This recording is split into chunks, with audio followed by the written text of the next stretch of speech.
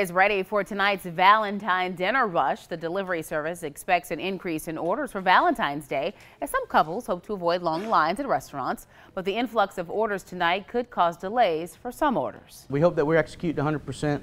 Um, in the event there is, just be patient with us. Other than that, uh, we want to tell our drivers to be safe, our restaurant partners, good luck, and our customers, happy Valentine's Day.